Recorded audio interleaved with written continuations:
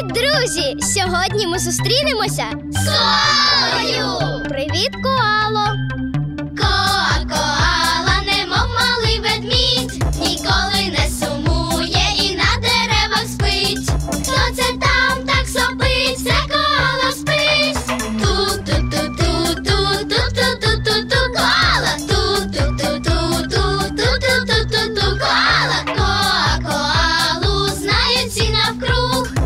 for another.